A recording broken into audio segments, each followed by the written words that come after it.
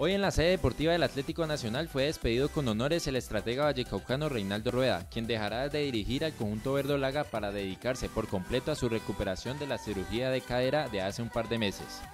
Rueda ganó las seis finales que disputó en los dos años que estuvo al mando del equipo paisa. En su reemplazo estará el técnico español Juan Manuel Lillo, quien viene de ser el asistente de San Paoli en Sevilla y fue entrenador de Millonarios.